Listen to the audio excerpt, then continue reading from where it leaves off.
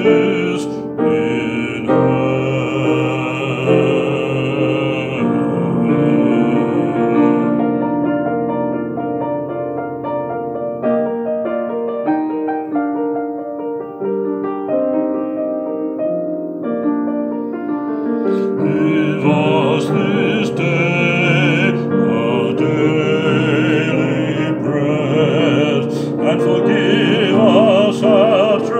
trespasses, as we forgive those who trespass against us.